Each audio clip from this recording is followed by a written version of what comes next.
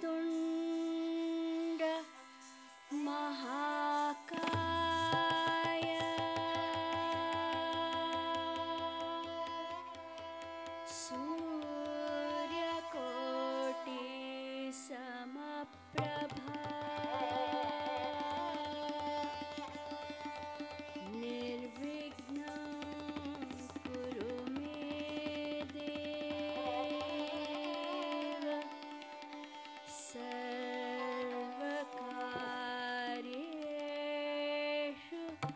सर्वदा।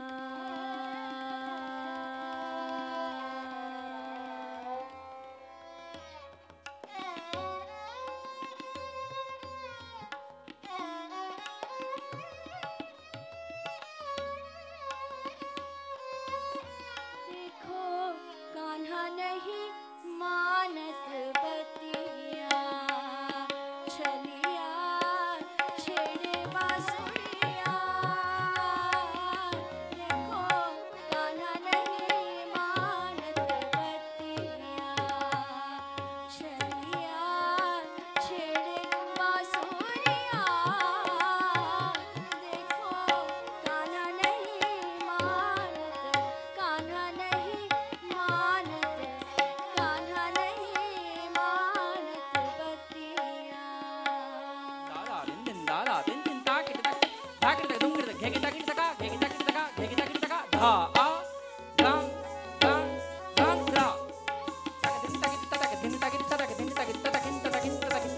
God.